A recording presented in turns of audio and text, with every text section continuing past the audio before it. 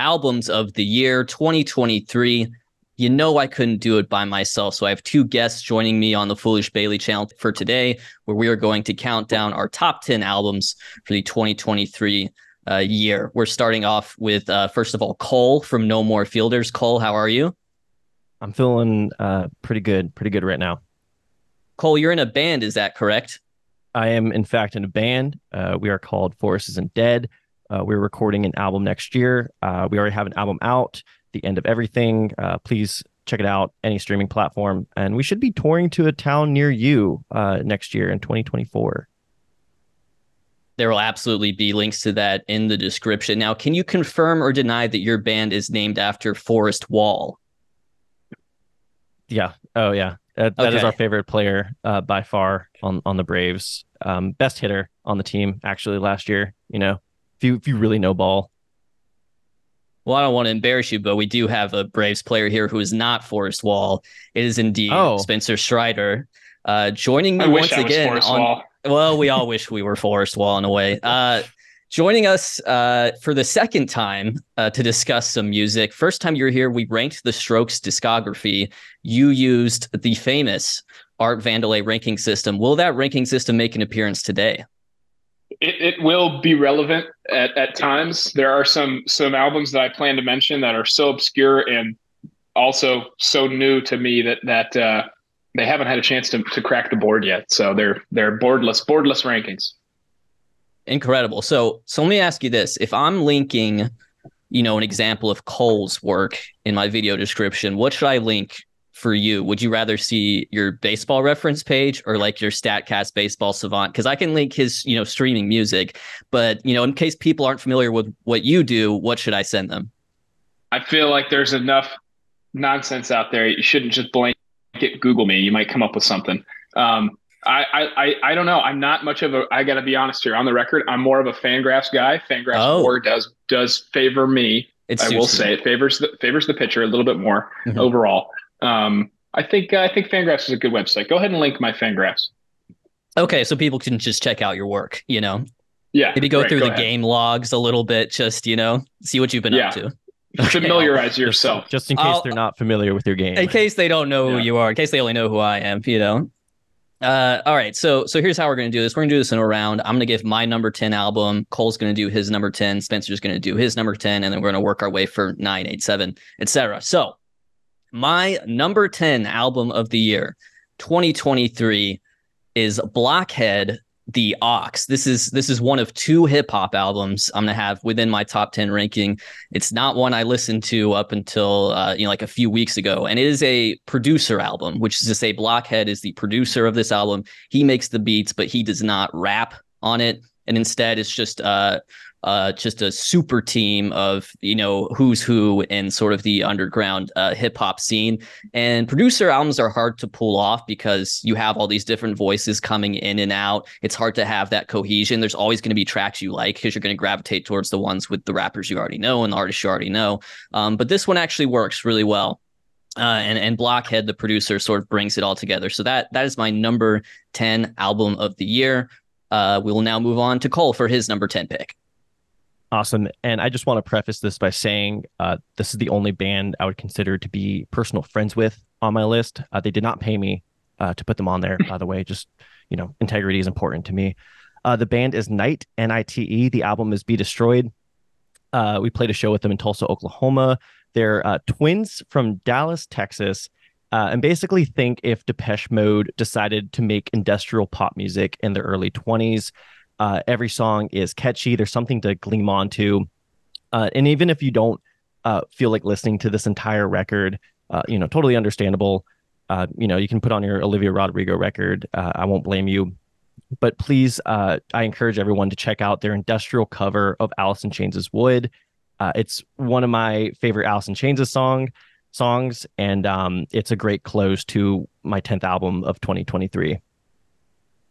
All right, Spencer, is your number ten Olivia Rodrigo by any chance? It, it, it is not Olivia Rodrigo, mm. and if if it if somebody's was Olivia Rodrigo, I would I would judge you. Um, I don't I don't observe Olivia Rodrigo as a legitimate um, listening option. Oh my goodness. Um, okay. I don't like my chances. So here. that being said, um, my number 10 is Bluebeard by the Brook and the Bluff. So Brook and the Bluff, um, great group out of uh, Birmingham. They they're currently residing in Nashville, um, but uh, kind of a like a like a very clean, um, just kind of indie rock sound. Um, this is their fourth full length out full length album. I think it's their their most ambitious one for sure. Um, I, I, think that their uh, sound was very um, consistent across their first three albums. Their their third Yard Sale kind of took a little bit of a of a like a step in towards towards like a like a, a evolution of their sound, but then um, Bluebeard got a little bit more experimental in a way for them, and um, yeah, there's a little bit more variation across the album, and it's uh it's it's definitely for somebody who I would consider myself a very big Brook and the Bluff fan. It was a sort of an acquired taste. It sort of wasn't what I expected right away from them, but um, up there with with all their albums. that Their all their work is very good. Great. Is that is that on the big board or is that a boardless pick, as you put it? Let me let me uh, consult the board real quick. I think this is on the board. Sorry for the suspense here. I know everybody's dying to know. Um, waiting with I do not breath. have I do not have Brook and the Bluff Bluebeard on the board, unfortunately. Uh, I do have some others though, and we will get there. Yeah, yeah. You just you just gotta let us know because that that was sort yeah. of what people got hooked on last time we talked. I mean, now right. I feel like at the All Star break you were doing a bunch of interviews that are basically just were, hey, what's the deal with that spreadsheet, man? Why do you like music so much? What's wrong with yeah, you? Yeah. yeah. Why don't you only like throwing the baseball? Why you have other right. interests? I uh, I know, I know some, it's a flaw of mine.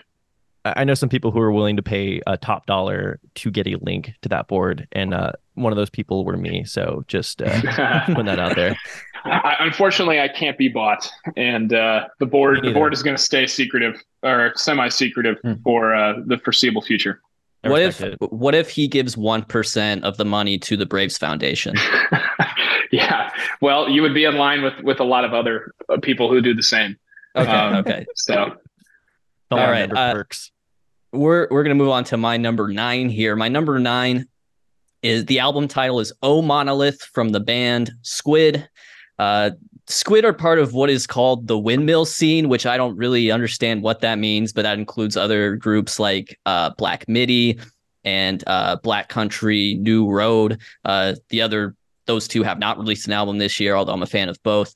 Uh, Squid on this one, they changed up their sound. It's it's it's a very like post punk sound. Their their first album sounded a lot like Talking Heads in some ways, um, but they still are a little formulaic. Everything is just sort of like building and building and building to this chaotic finish, no matter what.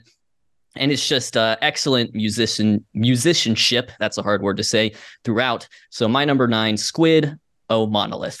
Moving on to Cole. My number nine um, is Paramore's This Is Why. Uh, Paramore broke onto the pop punk scene, the mainstream pop punk scene of the mid aughts, and were one of the best bands, along with Fall Out Boy and Panic at the Disco. And while both those bands, from a sonic perspective, swallowed themselves whole, uh, Paramore just continued to uh, explore uh, more sounds and really just expand their horizons while sounding more coherent. Haley, uh, Hayley Williams released a album in 2020, Petals for Armor. I recommend everyone to check it out. Uh, this album is pretty much a culmination of everything they've experienced in the last uh, 15 years. The guitars are biting and angular. And if you want to impress your friends, uh, tell them that Zac Farro is your favorite drummer. Put on uh, figure eight off this album and then just refuse to elaborate any further. Are you, are you, would you say you're a, a this is why or an after laughter type of guy? This is why, definitely. Oh, okay. There we go. Yeah. Definitive. Uh, Spencer Strider, your number nine? My number nine is uh, the album Dream House by an individual named J.W. Francis from uh, the the big city, the big the Big Apple. Uh, it's an even bigger city up there in New York. I've been there. I can confirm that. Um, but uh, yeah, J.W. Francis. Um, this album is uh, I would just characterize it as a lot of fun. Um, it's got uh, very upbeat, um, melodies. It kind of it kind of sounds like hers. I don't know if anybody's familiar with the the the Europe uh, the, the late great hers, um, and uh, they have a very uh, kind of fast paced, um, you know, like a like a quick kind of like um, pop rock sound, and um, this this comes very close. He's got good uh, like variation in in his lyricism and his uh, his singing throughout the album. It's um, it's kind of a quick listen, but uh, very solid, kind of a fun uh, sound you don't hear a lot of. Way to go. Okay, so so far we're 0 for 2 on albums I've actually heard that are on your list, Spencer, but this is great. This is what I was actually yeah. hoping for. I don't want to see too much overlap here because I think that's sort of a theme for this year is eh, someone could come up with, you know, a top 10 list and another person could and there'd be no overlap between the two. Uh, Absolutely. With that in mind, we are now moving on to uh, number eight. My number eight is Genesis Owusu uh, with their sophomore album, Struggler. Uh, Genesis Owusu their first album, I think, came out a few years ago. I think it's called Smiling with No Teeth. Um, it was a big hit, uh, definitely made them a star. And, and, and I mean, Genesis Owusu is totally a star, charismatic, funny, can rap, can sing. Uh, and this is a great sophomore follow up. I think of all the albums I have on this list, this is the act that I would want to see in concert that I haven't seen because it's just going to be a great show uh, every time. Uh, you know, some it's a big mishmash of genres. There's electronic influence, there's new wave influence, there's you know hip hop and rap. It's just a little bit of everything, but it's a great album, great follow up. So my my number eight, uh, Genesis Owusu Struggler. Moving on to Cole. My number eight is uh, Queens of the Stone Age with In Times New Roman. Mm. Queens of the Stone mm. Age are. Mm-hmm. I, I, I knew I was going to get that reaction. I'm I'm super glad because Queens of the Stone Age one of my favorite bands uh, of the last 25 years, maybe one of my favorite bands of all time. And uh, they're long gone from the days of like Clockwork uh, or Songs for the Deaf. But to me, even at their worst, they're still better than 90% of contemporary rock bands at their best. Uh, thematically, this is definitely their most cut and dry record. Um, but you still have standout tracks like uh, Opener Obscenery, uh, Paper Machete. Um, we have Emotion Sickness, as well as Sicily um, and you know, if this is their floor, uh, it's still higher than most band ceiling. Yeah, definitely one of the best rock bands of the last 25 or so years, if not the best. This was a uh, Queens of Stone Age t- in Times New Roman was a very clear honorable mention for me. A, a good return to form. I think Paper Machete is one of the best tracks of the year. Spencer, where do you stand on Queens of the Stone Age? Because you had a little reaction uh, there too. Absolute enormous Queens of the Stone Age fan. Josh Homme is one of my uh, my favorite musicians um, and a very interesting character to to follow the exploits of. Um, but uh, he. Uh, yeah, he, he he spoke quite a bit about um, just the what went into this album and kind of his personal um, journey to creating it, and I, I find that that uh, kind of behind the scenes fascinating. It's an album I, I put in my honorable mention category as well. I I tried to uh, keep my top ten to more um, debut albums or uh, sort of lesser known artists. Um, that's more what I traffic in. So, uh, but uh, I also have to mention J.W. Francis Dreamhouse is on the board. Ooh. And I, I, I forgot to uh, mention the score there. J. Their their uh, his uh, Dreamhouse comes in at seven six eight which puts it at, um, or excuse me, 785, which puts it at 81st on the board. So a top 100 score for uh, for uh, JW Francis. I like to think of the board sort of score uh, on a like a it's comparable to a um, like a Dave Portnoy pizza review. Okay. So if we're getting we're getting up into the eights, like you need mm-hmm. to eat this pizza. If it's an eight, you need to you need to listen to this. You need to put it in your ears. Um, but uh, a seven is a very solid album on the board, and so he comes right in there. Uh, Spencer, you don't have to answer this question or say the name of it, but do you have a Rate Your Music account? I do not know what that is. Okay. Okay. Yeah, we're. I think yeah. Cole and I are both big on that, and I think you would maybe do well to translate some of those ratings into a rate okay. music profile. So that I would encourage you to at least check that out. I'll um, have to um, give that. You can be anonymous too. You don't have to like link. Yeah, you. I. I. If I were you, I would keep it anonymous for sure. Yeah. Uh, but uh, we're gonna move on here to my what are we on number seven? That's correct. Number seven. Uh, my number seven album of the year is Jessie Ware. I'm going to give this the full uh, pronunciation with uh, punctuation. That feels good.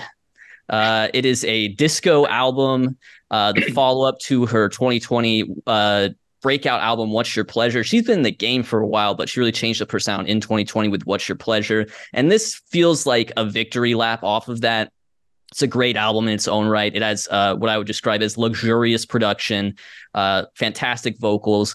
There's a couple Song of the Year nominees on this album, uh, specifically uh, Hello Love and Begin Again. It's a little inconsistent. There's some times where it kind of diverts from camp into just straight up corny, but it's just it's a very fun album to listen to. It's a very fun album, to dance to. Uh, so so my pick there is going to be Jessie Ware. That feels good. Awesome. Uh, my number seven is the Dirty Nil with Free Rein to Passions. Uh, this is a very personal pick to me. Uh, I first saw the Dirty Nil back in 2015 at a venue called the Wonder Root. It was a DIY venue in Atlanta. Unfortunately, it's closed down since. And uh, they pretty much were the band that inspired me to take music as a possible career choice uh, seriously. Just seeing them do what they do. Uh, at this point of their career, I'm actually wearing their shirt right now too, but can't really see it. Uh, at this point in their career, you pretty much know what you're going to get from them. It's uh, anthemic rock music, loud, blaring guitars, but it pays respect to the punk ethos of the 1980s. Uh, so essentially, if, if Ian MacKaye is your favorite member of Fugazi, then I do recommend giving this album a spin. All right. And then, uh, Spencer, we're on to your number seven. Yeah. So coming in at number seven for me is uh, an Atlanta group by the name of Trash Panda their uh, album Pandemonium. Um, and I think that it's one of the most uh, appropriate names for uh, the sound of an album is Pandemonium. So it's a very unique sound. Um, there's a couple of tracks on here that are just like constant um, playbacks for me. Toxic Signs is the first track. Honey Eyes, second track. Is the eighth track. Um, really, really uh, catchy. Um, the bass lines, I would say, drive every song um, which is something I'm, I'm a big fan of. is a is a strong bass line. And um, this is one of the one of the albums that um, if I can kind of gauge a, a, similar interest in somebody's music taste, um, I've been throwing this at them and they've really enjoyed it. So I think this is a it's a good listen. And uh, for the Braves fans out there, this is an an, an Atlanta uh, band. Yeah, it's great. A local act. Have you had any interaction with Trash Panda? Have you been to a concert or anything like that? I have not, unfortunately. Um, you know, the, the the baseball schedule does not overlap very well with um, concerts, uh, unfortunately. But um, I did I did uh, amongst the albums I have on my list, I have seen uh, Brook and the Bluff play. I saw them play recently in Atlanta. Um, and then I don't think I've seen any other groups. I've seen Queen of Stone Age before. Um, so I try I try to get uh, try to get out whenever I can, but to any of my, my interests, interesting artists. All right, we're gonna move on with uh, our number six albums of the year. My number six album of the year is Young Fathers with Heavy Heavy. Uh, this is an album that hooks you right away, and there's a lot of genres at play here. I would say it's art pop meets African gospel music. It's just very rhythmic.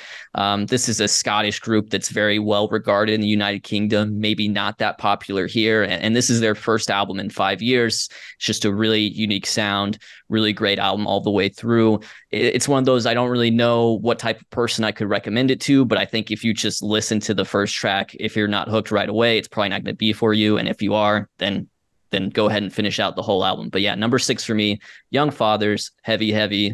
Uh, Cole, what is your number six? My number six is Billy Woods and Kenny Segal with Maps. Uh, while this album might not top the impact of 2019's Hiding Places, Billy Woods offers his cutting lyricism, which pairs uh, so perfectly with uh, Kenny Segal's asynchroni- uh, asynchronistic beats. Uh, it, it, goes together like a, a certain pitcher's uh, fastball slider combo. I just I can't remember his name. It's you know tip of my tongue, um, but uh, amazing record. they have the occasional feature to change things up.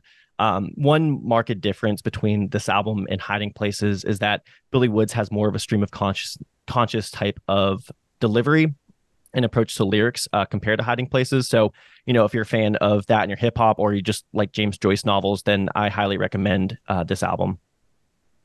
Yeah, I know. I know hip hop not your thing, Spencer, but I mean Billy Woods is is one of the absolute best in the game, and I've been a fan yeah. of his for many years. And he has mul- he has multiple albums out this year that could be considered among uh, the best.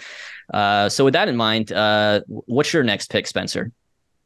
My next pick is um, something that uh, it's a group that I think can kind of appeal to uh, many different tastes, and that is TV Girl. Their album "Grapes Upon the Vine," um, which is on the board uh, along with every TV Girl project, and this comes in at an a uh, keep looking at the wrong thing at an eight three five. So this is number twenty six on the board on on Mr. Vandelay's board. Um, so a very highly regarded album.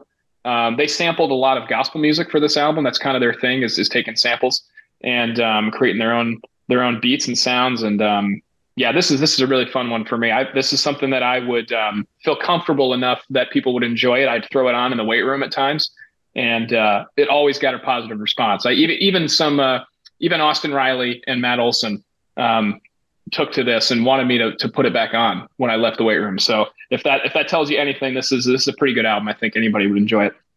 Well, I think that my number five would be almost one I could recommend to Austin Riley and Matt Olson, and that's because it has some some country, some southern rock influences, and that's uh, 3D Country from the band Geese. Uh, this is a group from Brooklyn. Uh, it's a, it's a rock group. There's uh, there's elements of southern rock. There's elements of punk. There's elements of blues. But I would mostly compare their their music to it reminds me a lot of like the Rolling Stones country influenced songs like like Wild Horses. Um, and it's just uh, it's you know instantly likable. The singer has a uh, a very unique voice and really makes you smile. It's filled with a lot of surprises, but uh, it's absolutely one of my favorite albums of the year. Geese with 3D Country. This is actually their second album, but I haven't, I don't even remember ever listening to their first album. And I, and I understand this one was kind of a departure in terms of the sound, but it, it's a, it's a great album all the way through. Yeah, and, and on that note, my number five, uh, I think Austin and Matt would really appreciate. It is, in fact, Morgan Wallen's "One Thing at a Time." Not just hmm. kidding. Uh, it's uh, my number five is Liturgy's nine two six nine six. Uh, shout out my fellow small YouTuber Hunter Hunt Hendrix. She's better known as the lead singer of black metal band Liturgy. What's really great about this record is that you pretty much get out of it whatever you put into um, whenever you want to listen. Uh, if you just want a straight to the chase black metal record, uh, it will it will be that for you. But if you want to go deeper into the uh, meanings and philosophies behind it, uh, Hunter Hunt Hendrick, she's very transparent about her songwriting process and about uh, the meaning of each song. And uh, you know, if you're not into black metal already, I don't think this album's going to win you over. But bands like Liturgy and Deafheaven prove that you know black metal isn't just made by Satanist and slightly racist people from Norway. Uh, it is in fact music for the people. Was was Morgan Wallen's 98 Braves was that in play in the locker room because see that's a song about the Braves which is great but it's also a song about the Braves losing. So here here's a here's a maybe a crushing um, you know display of honesty from for me. I have a difficulty identifying Morgan Wallen's music. That's and fair. I mean no disrespect to fair. him but uh, I know he's a Braves fan, and I appreciate the support. It's just so far outside of my my genre of interest that um, you know it kind of all runs together for me. Um, I certainly don't want to come on here and criticize anybody's their their art. Um, obviously, he's he's uh, enjoyed by many people. So I feel like he's got enough support in the Braves clubhouse too. So yeah, I think um, he's pretty he's pretty well liked. Yeah, yeah. Not to say right. I dislike Morgan Wallen. I simply just don't listen to that. That that's the headline. Spencer Strider yeah. dislikes Braves fan Morgan Wallen. Someone will run with it however they want. There'll be a New York Post article about it tomorrow. uh, yeah. Let's see what what is your what is your number four, Spencer? Or sorry, or, Are we sorry, on, number five. We're on five. five. We're on five. five. okay, I, am struggling here. Numbers not my thing. No problem. My number five, uh, an album I'm very, very excited about. Um, Variety Pack by Mustard Service. So this is a group from the uh, great state of Florida. Um, a couple of young men who uh, have crafted a pretty pretty uh, interesting sound. Um, I, again, I would similarly to Dreamhouse by J.W. Francis. I think it's a fun album. It's very upbeat, very engaging melodies. Um, you know, kind of uh, similar to um, maybe like uh, a Boy Pablo or um, I'm just trying to think of some other comps for them, but um, yeah, re- really, uh, th- I- would say all their stuff is pretty good. They're they're a little lesser known. They're starting to break onto the scene now, but um, this would be a good uh, album if you're you're looking for something in this genre, this indie kind of rock genre, to to sort of uh, wet your whistle on, and then uh, I think you'll find the rest of their discography pretty enjoyable. It's good to just have like a very approachable album on there. You just put it on any situation. You know, that's that's a good it's a good top 10 album for sure. Uh, my my my number four is uh, from a group that's been around for a while, but I hadn't listened to before this year. Uh, this is from Knower with the album Knower Forever. Uh, this is a, a collaboration between uh, two multi instrumentalists, uh, Louis Cole and Genevieve Artadi. Uh, I was familiar with Louis Cole a little bit. Thunder Thundercat famously has a song called "I Love You, Louis Cole," in which he professes his love for his musical talents. He's definitely a musician's musician. It's very funky. Uh, and then and then suddenly it's beautiful. Uh, and I think what's kind of must watch for me, especially if you're you know watching this on YouTube right now, is go look up one of their music videos which is basically just a live session of how they recorded the song in like some you know big like rented out house and they're cramming you know 50 musicians in there to try to you know put the song together all at once and uh, it's really it's really quite impressive and in the very much uh, you know spencer strider indie music you know spirit uh you know one reason people haven't heard this album yet is because it, it's only been on streaming for a little bit. They actually released it on bandcamp at first and you could just buy it and that was the only way to get it for a few months there. So uh my, my number four pick Knower with Knower Forever. So my number four we do have the first repeat uh, between the three of us and that's because i chose squid's oh monolith as my number right. four. Um we are in a post punk resurgence right now. Uh, this isn't your older cousin's post punk music. Uh, say bands like you know Bloc Party uh, from the mid aughts. Uh, this post punk is a lot uh, darker, murkier, more complex, uh, similar to what we've seen from bands like Bauhaus and Gang of Four. Um, 2023 was a strong showing from the post punk genre. We saw albums from bands like Shame, Protomartyr, The Murder Capital. But uh, you know, if, if the post punk landscape this year was the divi- was a division, then you know, call Squid the Atlanta Braves because to me they just ran away with it uh, with O Monolith this year, uh, and really they were able to expand on their foundation uh, that they set with Bright Green Fields in 2021. Uh, busy guitar work, uh, strong use of brass instrumentation, and they're able to pair it with just more like adventurous songwriting and you know, even if you're not a huge fan of post punk, I would actually recommend this as a possible like introduction album. Spencer, you mentioned being a fan of uh, strong and hooky bass lines. Uh, they're all over this album and the previous albums that they've released. I will say though, you know, you said Bloc Party is, is not sure, you know, th- you said Bloc Party is your older cousin's uh, post punk. That's that's just my post punk. So I felt a little bit insulted. But uh no, that's that's great. And also uh yeah, and obviously we have some overlap there. Uh, a great album. Uh Spencer, what is your number 4 pick for this year? Number four uh, is a album by an artist from Austin, Texas, Molly Burch. It is Daydreamer. Um, she is. Uh, I, I, think this album really um, kind of was a was a big step forward for her. I, I would say it's her strongest album, at least uh, in my opinion, and um, has a has a lot of uh, diversity across it. You know, she's got some some very good vocal range that she will demonstrate in certain tracks. Others are a little catchier, um, focusing on the the core, you know, the chorus, the chord progression a little bit more um, as their kind of appeal. But uh, it's it's it's a very like kind of like 80s, like a Kate Bush sound um, that uh, has the modern appeal uh, you get from like a like a like a sort of a pop uh, of today um, laced through it. So um, it's something I find myself kind of listening to on default when I can't think of anything else to listen to. Um, and more and more recently, it's just it, it, it, gets better with age. It's a fine wine of an album for me uh, coming in at number four.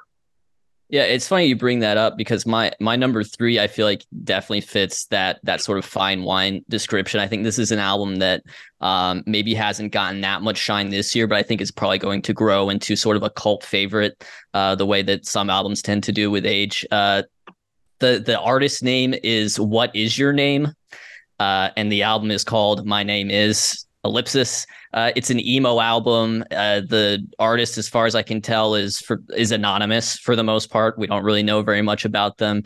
I would compare it to early car seat headrest or Weatherday. Uh, it's noisy, it's new to me, but I do think it is an album that will will grow in in popularity in the years to come, and I would highly recommend it to anyone who who likes uh, you know those artists in that sort of uh, vein of music in particular. But yeah, that's my number three pick. What is your name with my name is? My number three might actually be the most mainstream album on this list. I don't know how I feel about that. Uh, my number three is Lil Yachty with Let's Start Here. Uh, this was the most bizarre release of 2023 by far. Uh, a lot of people expected um, this type of album to release, but even when it dropped, a lot of us were doing a double take just to make sure that it was Lil Yachty. Uh, and his name, you know, is on it. It is his album. Uh, he goes psychedelic somehow it works. Uh, the last song sounds like Radiohead's Pyramid song, and it works. Um, Spencer, uh, I see you rolling your eyes a little bit, but you might appreciate some of the names on this record. We have uh, Jake Portrait from Unknown Mortal Orchestra, Mac DeMarco, Alex G, and both members of Magdalena Bay uh, all have writing credits on this record. Uh, you know, even if you're wow. not a Lil Yachty fan, uh, I still recommend checking this album out. Uh, it is a left turn if there ever was one. No, totally. Yeah, I'll this have is, to give that a look. This is basically just a rapper woke up and decided to make a Pink Floyd album. It's, it's yeah, it was yeah. a really surprising release, yeah. and, and a lot of people like, liked it. Sounds more like Flaming Lips than uh, Migos. right. What a bunch of good names and comps you've you've you've listed off. Yeah, yeah I think I think you out. sold them on it. Uh, what what is your number you three? My number three uh, is is may, again maybe the best album top to bottom that this group has put out. One of my favorite bands ever, uh, "A River Running to Your Heart" by Fruit Bats. Um, so Fruit Bats um, been around for a long time. It's really um, the, the the project of Eric Johnson is the the lead singer songwriter. Uh, his name. Uh, there's been a lot of other members to come and go, but um, this one I think just has you know really the highest floor of. Um, you know, it, it's kind of a folky, um, rocked. You know, it's sort of a midwestern sound to me. Um, and uh, this one has uh, some of the more um, sort of substantive lyrics, I think, of, of any of, of his albums. And um, yeah, like I said, top to bottom, it, it, it's uh, it's a, it's an enjoyable listen. And I you know I think it's I've said it before, but but I I really only listen to to music in album format. I'm not a big playlist shuffler. Um, and so I appreciate an album that's crafted uh, to be listened from top to bottom. And um, this one certainly is. So it's a, it's a definitely a, a, high high recommendation for me. Yeah, and I mean that I, have listened to quite a few uh, Fruit Bats albums, but I haven't checked out that one yet this year. So I will I will definitely check it out. Uh, we're gonna move forward with my uh, number two here. My number two is JPEG Mafia and Danny Brown scaring the hoes. And listen, we're all a bunch of gentlemen over here. We never use such language to discuss women. We, I would say this Foolish Bailey is a pro women channel first and foremost. Baseball second, women first. Um, if there's one criticism I could levy at this album, I'm not sure if this music would scare the hosts. I think, you know, they may enjoy this music. It's fun, it's upbeat. It's basically two extremely talented people trying to make each other laugh. Um, and uh, yeah, it's just it, it says a lot about Danny Brown in particular and JPEG Mafia. This is the best JPEG Mafia album, and it's only probably the third best Danny Brown album because he's just that good. Um, and it is, I will say, it is a baseball album, although I do have um, a, one more bone to pick with it. Uh, Danny Brown says on this album, Hall of Fame from Stolen Base, bitch, I'm Mickey Mantle. Mickey Mantle wasn't that big of a base stealer. You know, he he famously wrecked his knee very early in his career. So I think I would like to see a reference to maybe someone like Ronald Acuna Jr. Uh, in that place. You can figure out how to make that rhyme yourself, Danny Brown. But uh, yes, uh, uh JPEG Mafia and Danny Brown. Uh, did they scare the hoes? I don't know, but they made a good album. Oh man. Okay. My number two is uh, Feeble Little Horse, uh, Girl with Fish uh, this might be a weird sentiment to say about an album that I have ranked so high, but I might actually like the idea of this album more than the music on it, even though the music is still excellent. I mean, even without what I just said, it would still be like number three or four. Uh, Feeble Little Horse, one of my new favorite alternative rock bands uh, around nowadays. Uh, basically, it's what music would sound like if it was in a Dr. Seuss novel or Dr. Seuss book. Uh, songs will change up on you without much warning. The guitars don't always sound like guitars. Uh, it really just plays by its own logic. But at the end of the day, it's still highly accessible. Uh, they're they're still just simple little pop songs, just with a bunch of uh, bells and whistles, and um, it's just a very satisfying listen. Has its tender moments, and I'm really excited to see what this band does throughout the course of the 2020s. And it's my number two album of 2023. Yeah, Spencer, that's one I can easily recommend to you if you haven't checked out already. I'm, I'm sure it's probably on your familiar, radar. Very familiar with this album. Okay. Yeah. Good. Yep. Are yeah, I, I, enjoyed it. I, I kind of agree with you. I think your your explanation was very uh, uh, very fair. I think we're about to find out this is your number one album, but uh, uh, moving forward, I was gonna say 120 on uh, Art Vandelay. No, right. not quite. uh, what what is your number two album? My number two, uh, another one of my favorite groups, um, an album I was greatly anticipating when it came out uh, in the spring or early summer, uh, and that's Bunny by Beach Fossils. Um, so the lead member, Dustin Payseur from uh, from Brooklyn, um, this uh, he was touring and, and, with with as as Beach Fossils with um, Post Malone at one point this year. Uh, um, so I, I am you know happy for the people who wandered into that Post Malone concert and then found themselves listening to some Beach Fossils. Um, just really uh, thorough um, sort of northeastern rock. Um, you know, it's it's uh, very spacey, very deep, um, great bass lines as well. Um, you know, this is one you can kind of. Uh, I, I love to listen to this album like on the bus, in a car, in a, in any type of moving um, uh, you know space. I like listening to this album. It just it just um, sounds like travel to me. Uh, this is on the board. This is um, coming in at an 814, 49 overall. So uh, again, if, if we're comparing this to Portnoy Pizza review score, this is an, this is a pizza you you want to try. You need to try this pizza.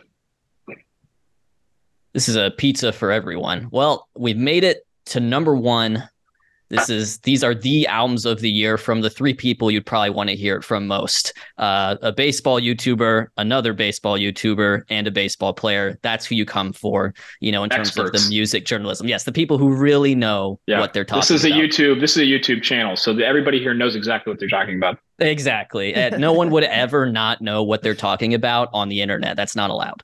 That's correct. Uh, my number one album of the year is George Clanton Ooh, rap, ayah. It is lush. It is dense. It is. There are big singles. I think the biggest sort of way I would describe it, it's sort of like '90s trip hop, if you like that kind of sound. Uh, just a, but even if you don't, it's just a great layered, dense pop album. Uh, it's very much in the uh, indie music spirit. George Clanton is the uh, head of his own independent record label, 100% Electronica, uh, which is a big reason why this was actually his first full solo album in five years, because he's a guy who's, you know, not just uh, making his own music, but helping other people be creative. Uh, and it's great all the way through. it is my album of the year. Moving on to Cole with his album of the year. All right. So if you told me earlier this year that I would be saying these three words in front of uh, my favorite pitcher, I would tell you, shh, you were scaring the hoes, which is my album of the year. Uh, I pretty much agree with everything Bailey said about it. It was highly anticipated uh, when it was announced. And to me, the it pretty much checked off all the boxes and then some. Um, I do agree though. Uh, I don't really think it scared many hoes. In fact, I saw JPEG Mafia and Danny Brown, and the the girl to guy ratio was um, a lot was very surprising to me. Um, to me, it's both rappers at the height of their powers. Uh, it's funny, it's chaotic, uh, it's really good workout music too, and I think it's a really good sign that every song from this album made it into my uh, top 100 of the year. So, you know, go Danny Brown, uh, go JPEG Mafia, and go me uh, for for hitting the gym enough to make this album relevant in my life. Yeah, I know you're probably sick of that one because Austin Riley's playing it in the locker room all day. but uh, uh, trust us when we say it, it is indeed a, a good uh, hip hop album. What is your number one album of the year, Spencer Strider? Or and, and can I ask also, does this align with what the Vandelay Big Board says as well in terms of the year? This does. This does. This comes in at number eleven on the entire board. Wow. Um, this is an album that uh, highly anticipated for for myself um, and the small contingents of or contingent of people who actually know who this is, uh, it's Norm by Andy Shauf. Um, so a Canadian, a uh, a storyteller, um, a phenomenal musician. So his albums um, lyrically are constructed in sort of a story or a narrative. Um, and it can be a bit cryptic at times, but that's that's one of the appeals to it. And and like I said earlier, um, you want to talk about somebody who writes their music to be listened to in the album format from track one to to the end. It's Andy Shauf, um, and that's I, I, think what makes it so appealing to me. Um, not just that the, the, music is enjoyable to listen to and the lyrics are interesting, but um, that it, it, really is like a movie. You t- you turn on an Andy Shauf album and you you you lock in for the duration. Um, and uh, yeah, I mean, uh, so this so the narrative, I guess, this the short version is this this album sort of follows. Um, it gives three different perspectives of a, a man pursuing a, a woman or a love interest, and um, those two perspectives are kind of different. One of them is is actually supposed to be God. One is is um, is himself. Um, and so it's it's it's a very interesting album, and, and and it's one that every time you listen to it, you're going to find um, a new reason to like it. So number number eleven on the big board, eight nine five. So I mean, a pizza that you you need to eat you need to eat urgently. You might even travel to to this place just for this pizza. Mm-hmm. That's how good this is. Can you can you give us the breakdown on the categories just just while we're here? You know what what's our what's our album art score? What's our impact score? Just yeah. you know so for Norm, um, we're, we're looking at a cover art of nine for the album. Album uh, art, um, the music is at a nine five nine. So just, I mean, you know, wonderful music, uh, and I, I, think that's correct. I think it's it's the highest of any of the Andy Shauf albums that we have ranked. Um, he's got two albums with with music scores in the nines, but but this is far and ahead the best one. Uh, cultural personal score. This comes in at nine point one. Um, this album was very highly regarded by uh, other music um, publication, you know, websites like Pitchfork. Um, I, I, think this was his most. Um, and uh, the lyric score is at a nine, so it's also the best lyric score of any Andy Shauf album. I, I can't I can't recommend it enough. My favorite track is the title track, Norm. Um, but I think, uh, like I said, it, it's really not an album you you seek out the the singles or the, the top tracks. You, it, it's it's served best uh, whole. Absolutely. Like, hey, like a pizza, you know, sometimes you like can't a, just like have one slice. That's correct. Yeah. All right, we're gonna we're gonna wrap this up. I really appreciate you all, uh, you know, coming uh, on today to discuss your albums of the year. But I'm gonna leave you all with sort of an open-ended question that you can feel free to interpret however you'd like. I'm gonna ask it to Cole first, and then Spencer. Cole, was this a good year for music? I think it was a strong year, and I know we've alluded to this where maybe the depth of releases this year wasn't high, but the breadth was. Uh, to me, you know, whenever people ask my most controversial music opinion, I always say that music is as good now as it's ever been, uh, just because of the accessibility of uh, being able to record. You don't need a full studio to do it and you know we just get to hear so many different voices and you know you can argue that it's oversaturated but to me uh you know everybody has a voice and the fact that you know you don't need a million dollar budget to be able to uh, express that is something uh, really beautiful in in my opinion. So i would say a good year for music six out of ten.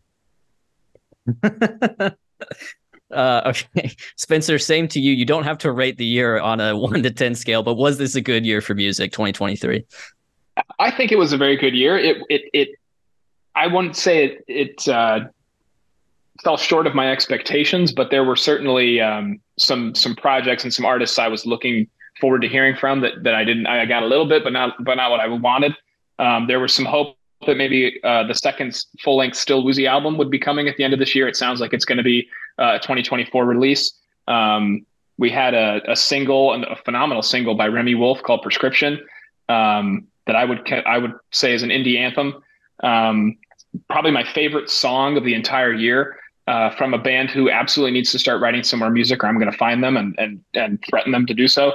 And that's uh, the Symposium. Their single, "The Only Thing," is one of my favorite songs, if not my favorite song from this year.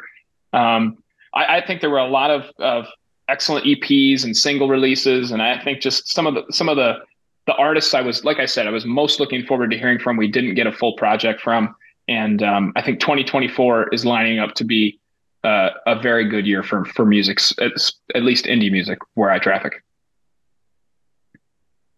Well, so hopefully, 2024 is a great year for all of us. You know, we should turn the question on to you. Did you think that this was a good year for music? I, I, I think it was. I think it was deep, and I think the thing that I most enjoyed about this year, and Spencer sort of alluded to it with uh, one of the themes on his list, is there were so many debuts and new artists that I that I wasn't familiar with because you know some of those highly anticipated artists so those artists who you know as soon as they drop an album I have to listen to it didn't necessarily release something this year or maybe only released a single. So uh, I think it was a great year for for music discovery in particular. And uh, I, you know when Spencer reached out to me about this uh, a few weeks ago I said that's great but I need to listen to some albums. So a few albums on this list I probably only listened to in the in the couple of weeks since. And uh, uh, so it's been a, a good journey for me. So yes, I would say, you know, maybe for me a little bit lacking on the top end. Like, uh, you know, there there weren't that many truly mind blowing, you know, listening experiences for me. But but the depth and and just a, a great year